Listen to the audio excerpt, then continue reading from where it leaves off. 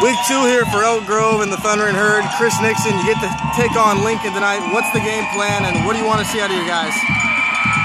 Well, we're excited to be out here. It's a, it's a, a fun atmosphere, always playing back at home.